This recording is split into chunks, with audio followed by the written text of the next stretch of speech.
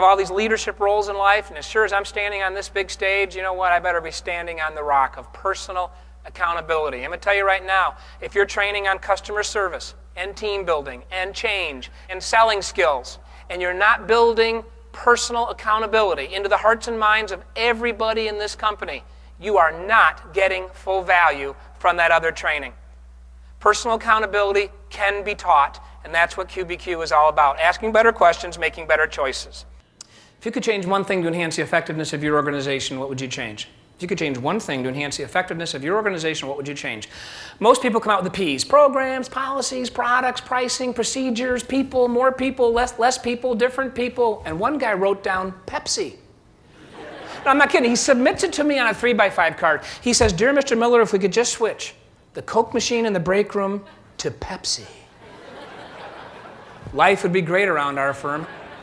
What was the question? What's the one thing you would change to enhance the effectiveness of your organization?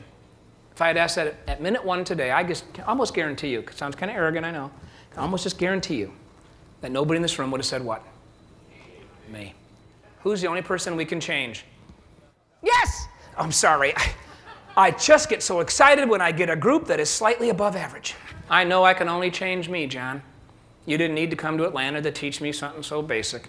Okay, fair point. Quick question as I've been up here talking about personal accountability, how many of you, come on, be honest, we're picturing two people you know who are not here but should have been in this meeting this afternoon to hear this message on personal accountability? How many of you have been thinking, glad my boss is here? he might need a remedial. now, I speak to a lot of corporations that have done way too much team building. We've done so much team building over 20 years, we've lost sight of the power of one. We've lost sight of the individual.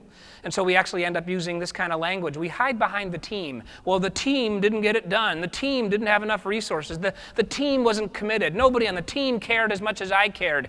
My middle name is Martyr. The team has become the excuse for things not getting done. Kim and Ken had the QBQ book. They live in Minneapolis, Minnesota. They're driving to Madison, Wisconsin, four-hour drive, couple in their 40s, been together 20 years. They took the book with them. They decided to read it to each other in the car. Accountability, chapter by chapter. Kim later told me after half an hour it degenerated. It went like this. Oh, honey, do I have a page for you? Yeah, you see page 70? Your picture's on it! What can I do to adapt to the changing world and continue to develop myself? Those are powerful questions. They denote ownership, they denote accountability, they're all about responsibility, and they are the opposite of blame, victim thinking, procrastination, and the opposite of our society today. So no longer do I say, why do we have to go through all this change? And when is someone going to train me? And I begin to say, well, what can I do to adapt to the changing world? Life's more fun that way. How can I develop myself? Because that's my job. I own it. Here's the problem with victim thinking. The minute I play victim, who, who am I serving? And be careful with your answer. Who am I serving when I play victim? Nobody. I'm not even serving myself. There's a better path. It's called personal accountability. And is it fair to come in and lecture people and say, you need to be more accountable? No. We need to show them how. The QBQ is the way to do it. Okay, thank you.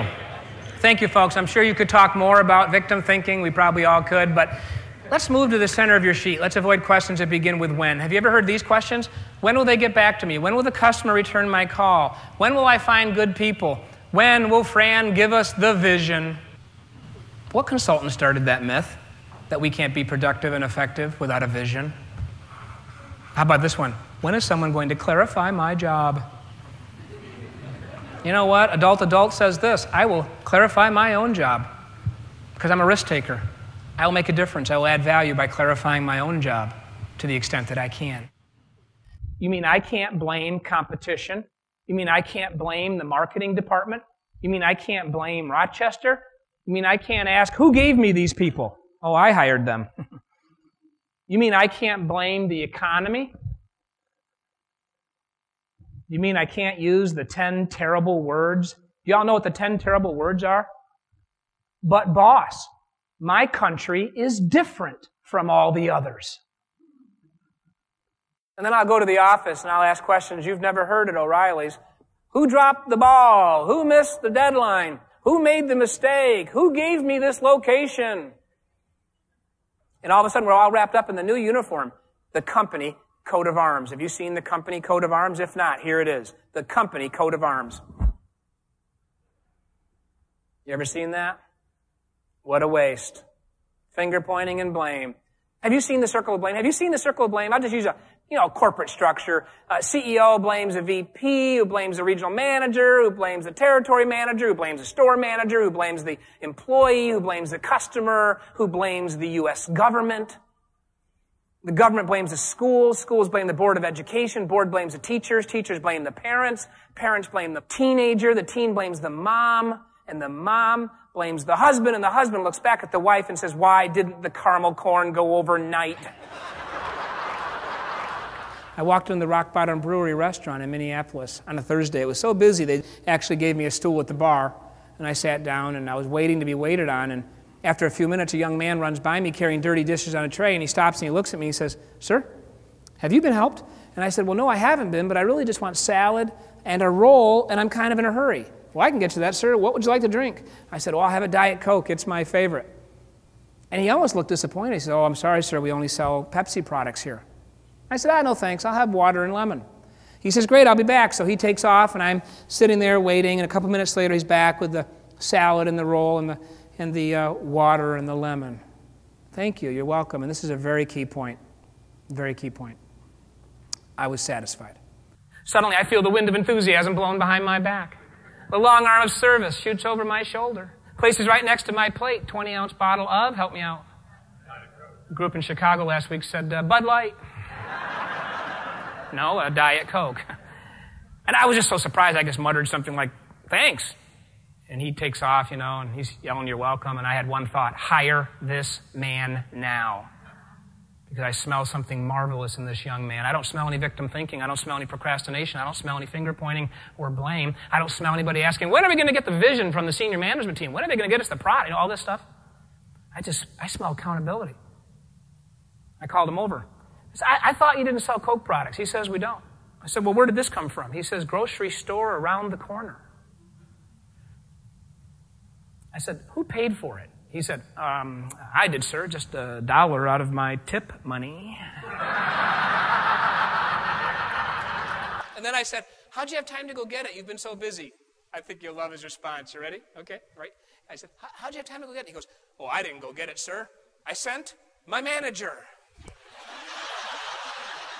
Come on, right now, turn to somebody in this room and say these words Get me a Diet Coke. Wow. You know, I came back a month later. I could not forget him. His name was Jacob Miller. I love his last name. Uh, John Miller, if you didn't know, okay? And I walked in to the restaurant and I said, One for Jacob Miller's section, please. I want to sit wherever Jacob's serving. And the hostess says, I'm sorry, Jacob is no longer. And my mind went crazy. I started thinking these thoughts. You didn't really lose a guy with character, did you? You didn't really lose a guy who did not say, Why can't the customer read the menu? He did not say, When is management going to give us the tools we need? He did not say, Why are we so short staffed? He did not say, Why am I always stressed out and don't get any support? He did not say, Why do we have to go through all this change and when is someone going to train me? He just looked at me and said, Hey, how can I help you reach your goals, sir? What can I do to serve others? You lost a guy like that? Now, I didn't say all that to her in the lobby of the restaurant. I just thought it. Let's go back.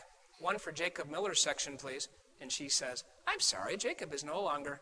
And I thought all that stuff, but then I just said, Oh, don't tell me you lost him. And she says, Oh, no, sir, we didn't lose him. We promoted him to management. And I said, Management, what a waste. and did you know that humility is the cornerstone of leadership? Humility is the cornerstone of leadership. And, and, there's no humility in thinking, well, it's my job to hold everybody accountable. Did you know that parents have tried that? Moms and dads have tried that in the American family and failed miserably. What would happen in the American family if mom and dad first practiced personal responsibility before trying to hold the child to it? And I think great things would happen in business if first we practice personal accountability before trying to hold the people accountable. The questions that work are the QBQs. And in the book, you'll learn all about them. They begin with what or how. They contain an I. They focus on action. They sound a lot like this. How can I lift Karen up and honor her for all she does while I'm on the road? Because if I don't ask those questions, I'm not being vigilant. And the most important thing I must safeguard and protect is Karen and those seven children. And guess what I've discovered, and I know you know this stronger the family, stronger we are on this platform. Personal accountability, that's what it's all about. What can I do to have a rockin' business? What a great question. I've enjoyed being with you tonight. Thank you very much. I'm done. Bye. Thank you.